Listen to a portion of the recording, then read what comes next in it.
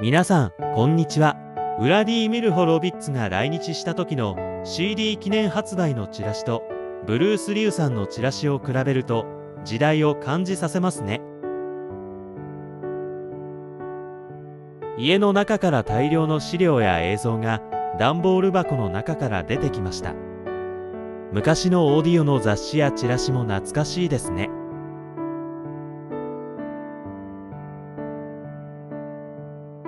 昔はカセットデッキが主流の時代がありましたね。日本人に馴染みの深いショパンコンクールで有名な方のチラシも大量です。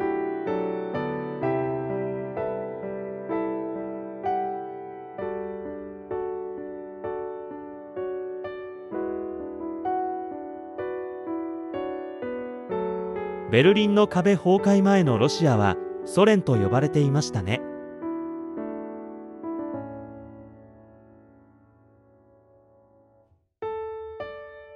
ソ連時代のソビエトのパンフレットも懐かしいものです。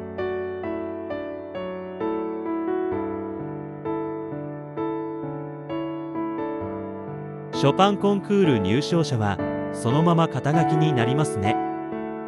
女性のピアニストはアルゲリッチの文字が目立ちますね。そして今回のショパンコンクール審査員で優勝者のダン・タイソンも元はコンクール優勝の文字が当たり前でした。ところが今は肩書きが変わりました。俺もお前も大物だ。